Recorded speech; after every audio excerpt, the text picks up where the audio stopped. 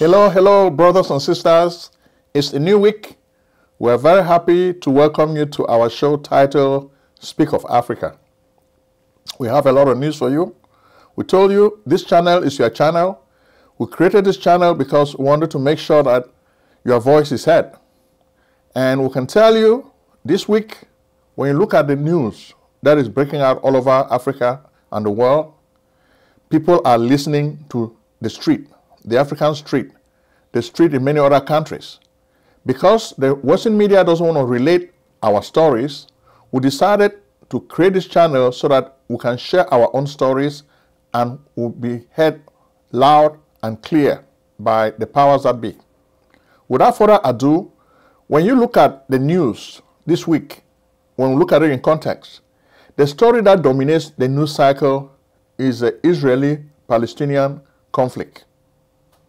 This, we talked about this two weeks ago, especially the day when Hamas uh, made an incursion into Israel.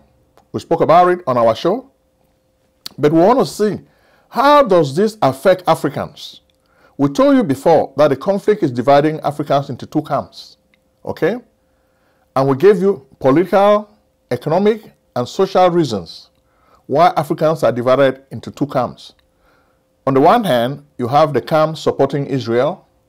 On the other hand, you have the camp supporting Palestine. And we made you understand that since 1973, Israel has used money to really buy the love and loyalty of a lot of Africans, especially Africans south of the Sahara, from countries like Cameroon, Togo. They have bought their loyalties. So you'll be surprised that this time a lot more African countries are pro-Israel. You'll not believe it, but it's true. They're pro-Israel. But with the news today, our emphasis is not just going to be on Israel. We want to tell you that the African youth are giants. They are exerting pressure on their colonial puppets, puppets of the Western world, to change what is happening in the motherland. Our people are now happy. You see issues like migration. Our people are running to look for greener pastures in Europe. Some of them die at sea is because there's no hope in their land. They come from a land where the colonial masters are using corruption to maintain corrupt leaders in power. And the, the average African youth has no bright future. They know this. They feel like they are walking dead.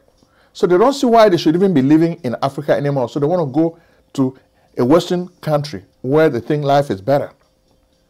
So these Western people are really the cause of the problems of the Africans. And the African youth is exerting pressure on the pushes and all the military guys to topple these colonial leaders. And that's what is really happening. We'll start our news today looking at Burkina Faso. Burkina Faso, Ibrahim Traore is fully in charge. He was able to foil a coup attempt.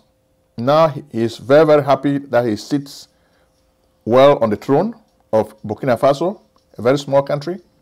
He's presenting himself as the reincarnation of uh, Thomas Sankara. In fact, this week, the street that used to bear the name Charles de Gaulle. You know, Charles de Gaulle is the master of Françafrique, the guy who created those colonial documents which ended up imprisoning Africans, enslaving Africans under France. His name is Charles de Gaulle. So Ibrahim Traore decided to change the name of the street from Avenue Charles de Gaulle to Avenue Thomas Isidore Sankara. So this was a very, very good propaganda move, and the people are very, very happy. It may just be a symbol, but it means a whole lot to the African uh, populace. They look at him like a hero who is bringing back Sankara. As much as things are really tough for Ibrahim Traore on the ground, he's not really making a good inroads because when we look at the strategy of eliminating the, the French, then fighting the jihadists, he, he has not really been doing very well, but he's using Thomas Sankara as a weapon, a propaganda weapon, to keep the loyalty of the people close to home. Okay? So when he talks about Sankara, this brings back positive memories to the people of uh, Burkina Faso. Mm-hmm. So this is what is really happening. So we saw the picture of uh, the unfolding of the new uh, street, Avenue Thomas Sankara. So instead of calling it uh, Charles de Gaulle Avenue, now it has become Thomas Sankara Avenue. So this is a very good thing. Africans like it. Why? Why do you put the name of somebody who killed Africans in their own country? So it's a good thing they are renaming this. We like this, but at the same time, you can see that Burkina Faso is really supporting the other countries that have organized coup d'etat like Mali and Niger. They are forming a team so that Niger is not isolated. Gabon is not isolated. So now all these countries that have, have coup d'etats, Burkina Faso is joining them as a force. Mali is also among the countries. Okay? So that, this is what is really happening. From Burkina Faso now, we take you to La République du Cameroun. La République du Cameroun is where we think another coup d'etat is going to happen soon. This country has been ruled by a colonial puppet called Paul Biya.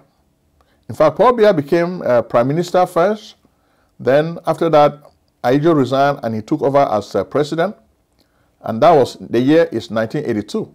I remember in 1982, that's when I graduated from uh, Yaoundé University with uh, a degree in English. Since then, Paul Biya has remained president every time he fakes a new victory. He wins every elections. He never campaigns, but he wins the election anyhow. So most of those governors, DOs, district he uses them to fake elections on behalf of his uh, party, the ruling party. So he wins every time. And this is why the people are angry. So why organize elections? They organize elections just for, for, for show, to deceive the people, to deceive the international community that he is popular. But you and I know that he's not popular. For one, Biya had really presented his vision 2035. This vision 2035 paints a rosy picture what Cameroon will be like by the year 2035. This will be an El Dorado. But those who look at what is happening in Cameroon today, they see a tale of a failure, a sad story, a country where everything has failed politically, socially, and economically a country where for so many years there are no good roads, there is corruption, then the youth are unemployed, the Anglophones are angry. Even today, you see, people talk about Ambazonia. The Ambazonia revolution is not dead. The people are still angry. Sisiku Ayuk Tabe spoke again from his jail in uh.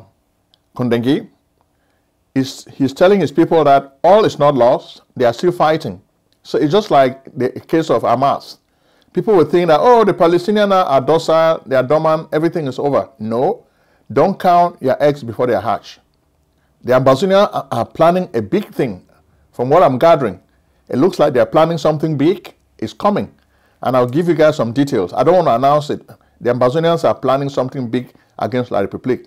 I've just been gathering a lot of information and um, I will not share it on this show. So when you call me privately, or just contact me on WhatsApp 301 760 0335. Contact me on WhatsApp.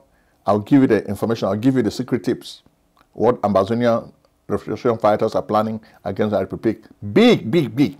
It will be bigger than what Hamas did to Israel. so, then of course, this week, Jeune Afrique also was talking about uh, Richard Bona. He is also another critic of uh, the Biya regime because he says the country has not really gone anywhere, and he's really disappointed because the rule of Biya is a, a fiasco. It, it has not, has not helped the country. People were thinking that he's going to present a new deal, but when you look at the, the economy of Cameroon, when Ahidjo bequeathed the country to Biya, it was just like a success story. But with Biya, everything has just been a failure. Failure. He wants to hang tight, stay in power. They, they control the B, they created a B for him, a private army, so that nobody can overthrow him. But now, after he has done all of this, he's getting close to his grave. What does he think when he looks at what he has done to his country? I guess he has a conscience, and his conscience will tell him that you've done wrong, buddy. You did not do well for your people.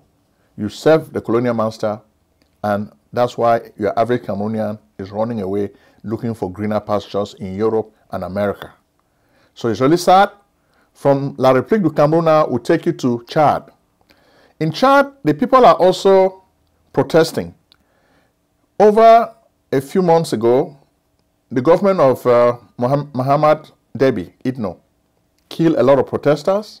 So this week, the people are commemorating the death of some of the people during these protests. The junta is still in power. There's been no election. So Muhammad Déby Itno is still controlling the country with the support of France. But you can see that France is now persona non grata in Africa. We think, before you know it, another coup attempt is going to be made in Chad and the people would want freedom. The people are waking up. The African giants, the youthful African giants, are waking up to smell the coffee. And the coffee is telling them that mm -mm, France needs to go. Mm we, need to kick France out. So the whole idea is France has to go. Even in La République du Cameroun, this week, France was forced to begin opening the archives, their colonial archives. You know, the story in Cameroon was a very sad one. It was not easy for the people to fight the, the, the French in Cameroon. France killed a lot of opposition guys, those guys who we call liberators, Umyobe and many others, Felix Moumié and many others. Now you need to know this story. Because a lot of Cameroonian activists have been clamoring for the truth, now Emmanuel Macron is ready to open the archives. And they're opening these archives to many Cameroonian historians. So this is going to help us tell the true story of what France really did in Cameroon. France killed so many people. There are so many books on the hidden war between France and the African natives. When France killed so many independent minded Africans because they wanted freedom. Now the story is going to be told by historians. They are working on those archives. They're going to rewrite the story. So this is not revisionism. We're going to be able to tell the truth of what really happened. In Congo DRC now, we take you. The M23 is still a menace. So uh, the president of Angola and the president of Kenya, João Lourenço and William Ruto, they met and they want the M23 to stop being a menace. They want them to move to an army garrison. So they need to be reintegrated into the army so that they should stop wreaking havoc. But of course, you know that M23 is a rebel movement controlled by Rwanda. So Paul Kagame's hands are everywhere. So they need to really rein in Paul Kagame before they can rein in M23. Because M23 is a tool in the arsenal of uh, Paul Kagame. He uses them to steal the resources of Congo DRC. So will Kenya and Angola put this theft to an end? That's what inquiry minds are saying. Next, we take you to Egypt. Tired of waiting in long lines at the emergency room or your doctor's office? You should be. Why wait in long lines for care? It's time for you to come to Lucille Urgent Care. Real care, no waiting. Lucille Urgent Care, the best place for true and loving care. Service at Lucille Urgent Care is convenient, fast, time efficient, affordable, accessible, transparent, and cost effective. Royal treatment is your right. Indeed, it's not just a privilege or pejorative. Skip the emergency room's long lines, kiss the ER goodbye, say farewell to your old doctor's office, pay less, save time, enjoy the excitement of convenience, receive immediate treatment, get the healthcare you need quickly and affordably. Lucille Urgent Care offers many express services rapid COVID 19 testing, on site prescription, preventative lab services, imaging and x rays, urgent medical treatment for common illnesses and injuries, routine vaccines and flu shots, work related injury services, pre employment, occupational, annual, and sports physicals, immigration exams, and much more. Same day treatment, rapid lab results, extended hours, weekend hours, no appointment necessary, no insurance necessary, no doctor necessary, walk ins accepted, telemedicine available. We are open seven days a week with evening and weekend hours. We are located in Maryland, Lucille Urgent Care, 903 Half York Road, Towson, Maryland 21204. Website lucilleuc.com. Call at 443 275 1286 or 301 593 4897.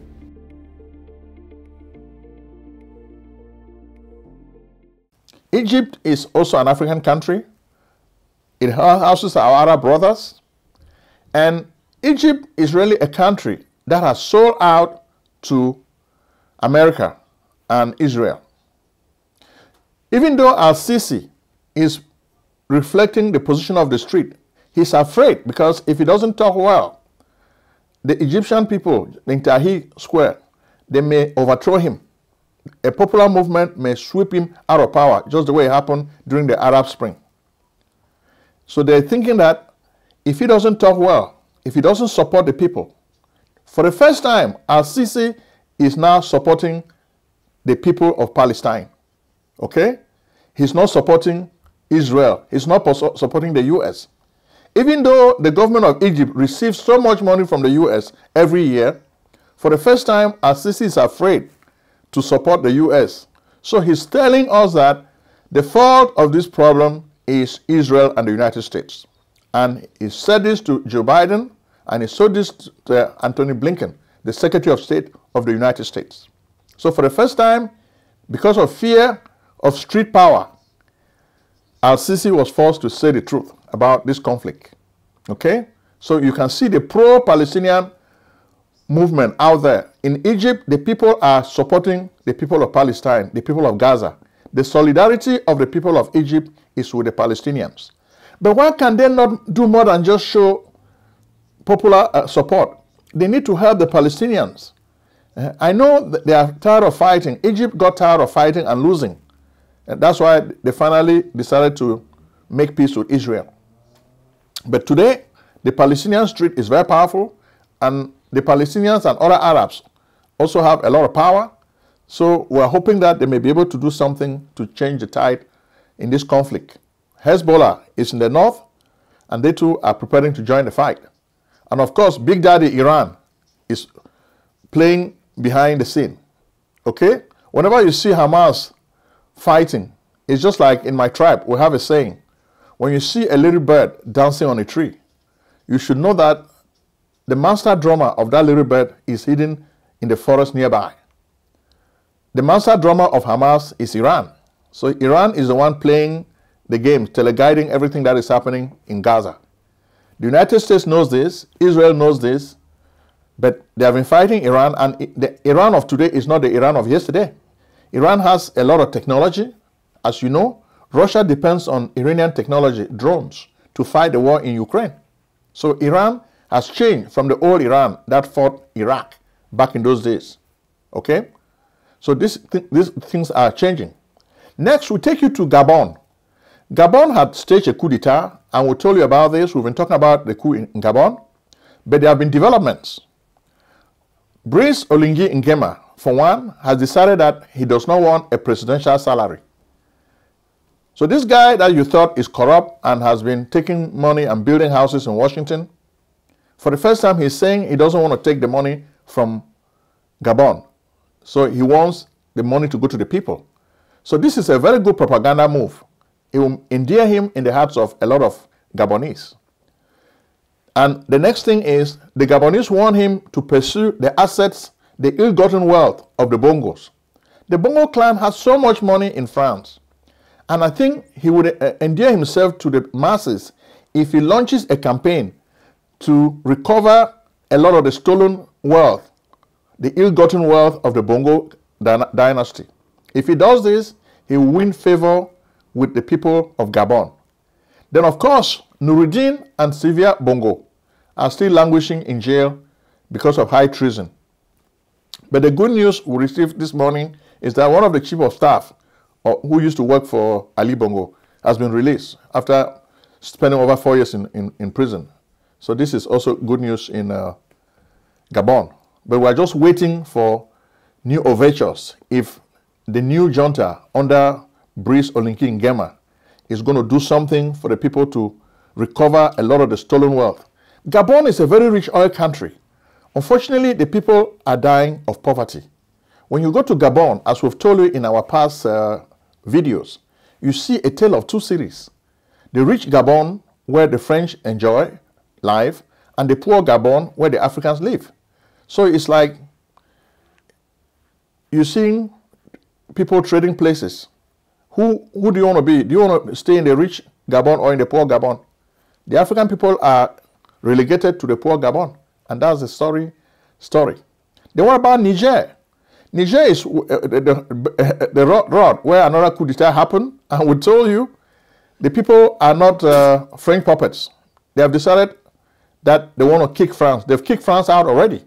But this week, we had news that uh, Mohamed Bazoum, the former leader who was supported by Emmanuel Macron, was making plans to escape. So this plan was foiled. Wow! Is this story true or is it false? We've not been able to verify the story, but we know that with the level of security surrounding Mohamed Bazoum, how would he be able to arrange such a daring escape? Is the military junta staging this story for public consumption? We don't know, but we're going to research and get back to you and give you the truth. Do you need tax preparation services? We can help. Contact PJ Tax Service, America's only full time income tax preparers. Like the good old doctor, we do not close our doors after April 15th. In fact, we stay open all year round in order to serve you. We are located at 11207A Lockwood Drive, Silver Spring, Maryland 20901. Make an appointment today with Prince Ojong, your tax expert. Call 240 350 1131 or visit us on the web at www.pjtaxservice.com. What about Nigeria? Well, Nigeria also has a lot of news. The major news we have in Nigeria is uh, celebration.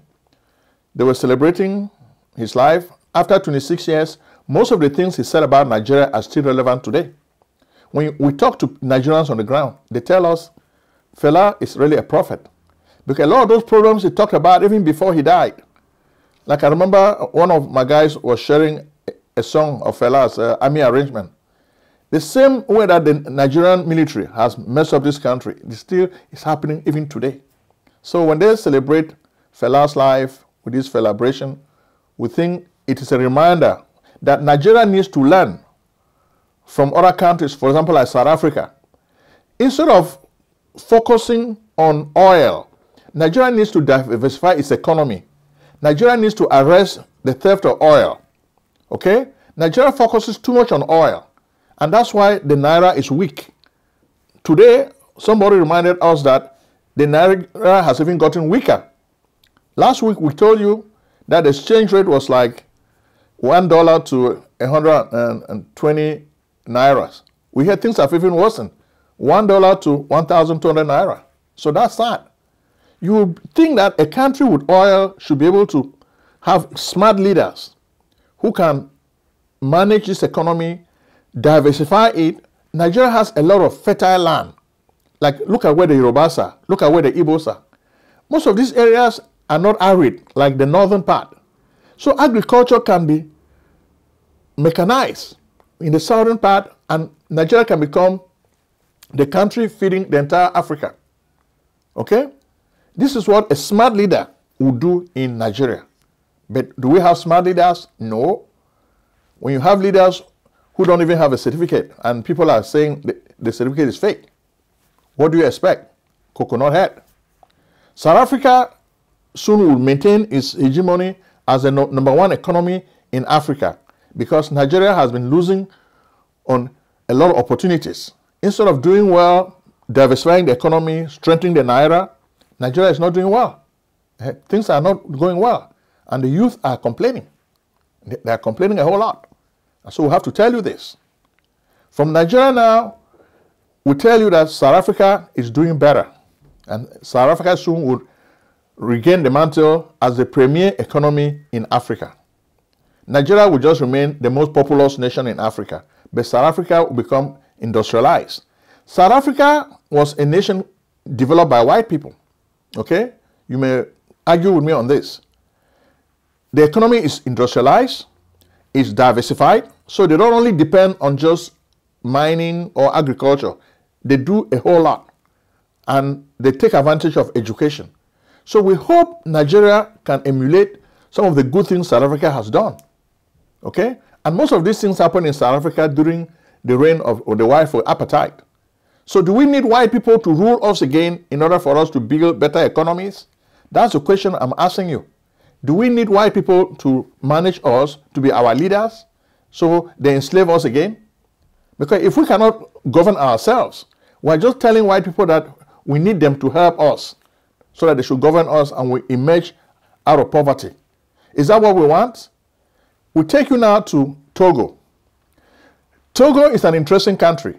Togo is ruled by Faure Gnassingbé Eyadema. His, his father is the one who killed Sylvanus Olympio, the guy, the champion of the independence of Togo. The guy came from the London School of Economics. France did not like him because he was trying to create an independent currency and push the franc aside. France did not like that. Then France orchestrated with uh, Gnassingbé's father, Eyadema, to kill Sylvanus Olympio. Now it's interesting that this son of uh, a murderer is playing games now. Instead of being against the military juntas in Africa, he's trying to be a conciliator.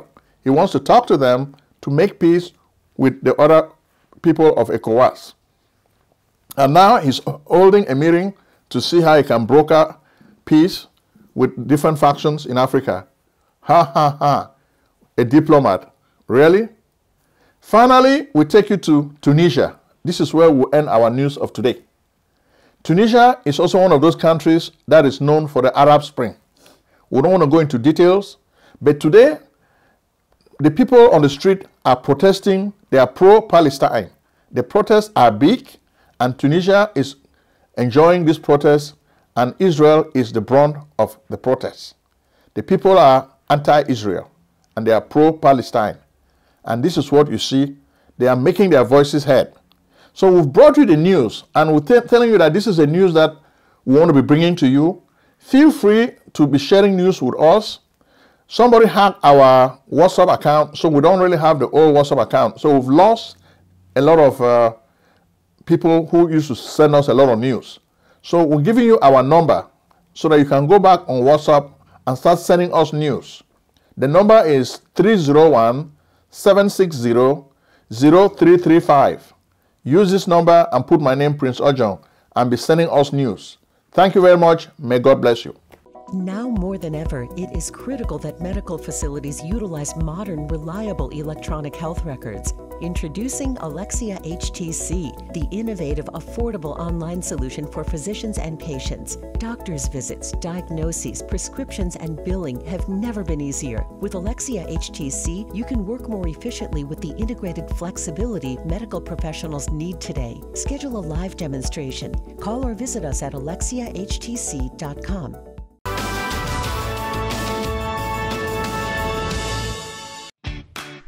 you need tax preparation services? We can help.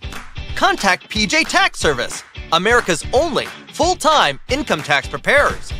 Like the good old doctor, we do not close our doors after April 15th. In fact, we stay open all year round in order to serve you. We are located at 11207A Lockwood Drive, Silver Spring, Maryland 20901. Make an appointment today with Prince Ojong, your tax expert call 240 350 1131 or visit us on the web at www.pjtaxservice.com.